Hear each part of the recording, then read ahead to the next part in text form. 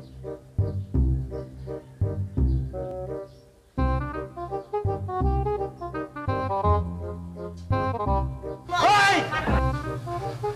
ganda mong lalaki!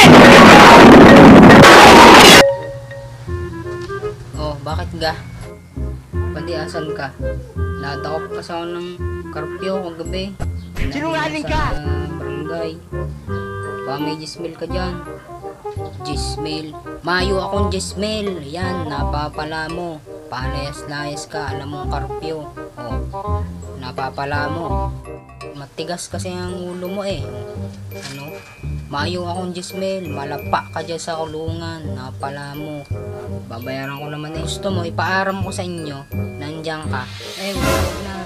Madali pa ako. Babayaran ko naman eh. Sige, yain na, yain na, yain na. Sinabi na bawal nga lumabas. Palabas-labas ka pa. O ngunyan, kapalpalan mo. Malapa ka dyan sa kulungan. Mayo akong gismail.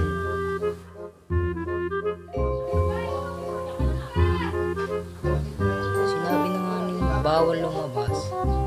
Bawal. Karpyo nga eh.